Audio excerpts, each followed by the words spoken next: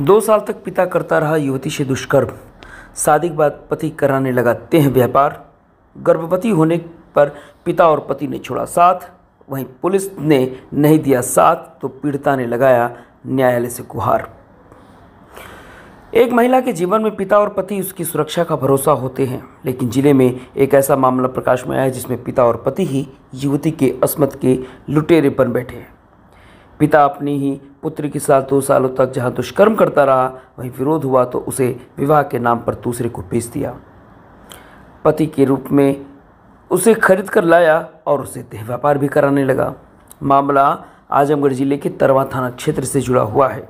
गर्भवती होने पर पति छोड़कर भाग गया, वहीं पिता ने रखने से इनकार कर दिया। पीड़िता ने आरोप लगाते हुए जहाँ जिला विधिक सेवा प्राधिकरण में पहुंचकर न्याय की गुहार लगाई है, वहीं जिला विधिक सेवा प्राधिकरण धनंजय मिश्रा के कार्यालय पर पहुंचकर पीड़िता ने कहा कि मुझे अब न्याय मिले। आजमगढ़ से अमन कुमार की रिपोर्ट। अब जो है कि चालाकी, बस, मुकदमा सब खारिज करवा दी। जब मुकदमा खारिज हो गया तो हमारी माता को मार पीट के घर से बाहर निकाल दिए। अपनी माँ के साथ हम चले गए। क्योंकि हम छोटे थे, क्योंकि फिर भी हमारे पिता ने हमें ज़बरदस्ती माँ के यहाँ से हमें छीन लाए। माँ माँ से हम दोनों भाई बहनों को दूर करने की वजह से माँ हमारी मानसिकता खो चुकी हैं। आज तेरह सालों से आज हमारी मामा यहाँ रह रही हैं।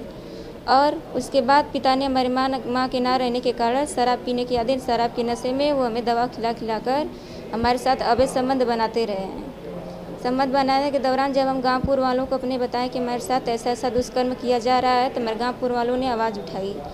तो हमारे पिता ने हमको बहुत मारा पीटा, उसके बाद जो है कि घर में रहने के लिए बोले। आठवीं क्लास के बाद हमारी पढ़ाई छुड़वा दी गई। आठवीं तक, बारहवीं तक हम पढ़े हैं, लेकिन आठवीं तक क्लास हमारा नहीं हुआ। आठवीं तक केवल क्लास किए उसके बाद जो है कि हम घर का काम काज संभालने में लग गए। फिर भी हमारे पिता दुष्कर्म किए जब हम दुष्कर्म करने के बाद फिर आवाज़ उठाए तो हमें दूसरे नामक ग्राम ग्राम बछवल नामक ग्राम में हमको छोड़ गए सिंहपुर, सिरसा बछवल नामक ग्राम में छोड़ गए साढ़े सात बजे। वहाँ के प्रधान ने जब आवाज़ उठाई कि हम आपको पुलिस के हवाले कंप्लेंट करेंगे, आपको अपना नाबालिग अवस्था में अपने बच्चे के साथ ऐसा दुष्कर्म कर रहे हैं तो हमारे पिता ने गाँव के प्रधान से माफ़ी मांगी और हमारी अच्छे से परवरिश करने की उनसे इजाज़त ली। उसके बाद उनको कुछ पैसा देकर वहाँ से चले गए। हमें ले जाने के बाद फिर वही दुष्कर्म किया। उसके बाद फिर गाँव वालों ने आवाज़ उठाई, दवा प्रेशर ज़्यादा डाला। उसके बाद कानूनी कानून को हाथ में लेने के बोला, तुम्हारे पिता ने। सैदात थाना, ग्राम बसुखारी। बिपिन यादव, स्वर्गीय मुनिकेश, पुत्र यादव, स्वर्गीय मुनिकेश यादव के पुत्र के साथ विपिन हमारा विवाह का रूप दिखावा कर कर हमारा व्यापार कर दिया। हमारे पिताजी ने ढाई लाख रुपये में हमको बेच दिए हैं। विपिन यादव ने हमें ढाई लाख रुपया देकर खरीद लिए, उसके बाद शादी का रूप दिखावा कर दिया गया कि मतलब हम इसे विवाह करके लेके जा रहे हैं। उसके बाद हमारे पति भी हमारे साथ वही दुष्कर्म करते रहे लेकिन वो केवल दिखाने के लिए पति हैं, वो हमारे पति नहीं हैं, वो एक व्यापारी हैं, जो इस तरह इस तरह का धंधा व्यापार करते हैं।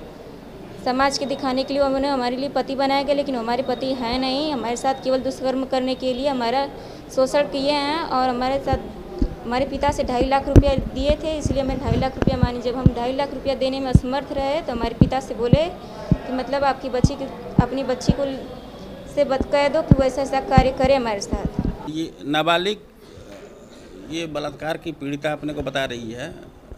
उम्र साढ़े सत्रह साल बता रही है अपना। उसके द्वारा यहाँ ज़िले जिला विधिक सेवा प्राधिकरण आजमगढ़ में इस आशय का प्रार्थना पत्र प्रस्तुत किया गया कि उसका एफआईआर पंजीकृत नहीं हो रहा है। और उसके दो, पीड़िता द्वारा ये बताया गया है कि उसके पिता द्वारा विगत दो वर्षों से उसके साथ अवैध शारीरिक संबंध बनाया जाता रहा। गाँव वालों के विरोध पर पिता ने, पीड़िता का विवाह गाजीपुर ज़िले में, एक व्यक्ति के साथ कर दिया। जिस व्यक्ति के साथ विवाह हुआ, उसने उसके साथ देह व्यापार कराना शुरू कर दिया। और ये बताने लगा कि तुम्हारे पिता ने मुझको ढाई लाख रुपए में बेच दिया है और पैसा मुझे निका, मुझको निकालना है। और इस तरह से उस, उसको, उस पर दबाव बनाता रहा। पीड़िता द्वारा ये बताया जा रहा है कि वो छः महीने की गर्भवती है और जिला विधिक सेवा प्राधिकरण द्वारा पुलिस अधीक्षक आजमगढ़ को आवश्यक कानूनी कार्यवाही करने हेतु प्रार्थना पत्र प्रेषित प्रेषित कर दिया गया है। यही है मैटर।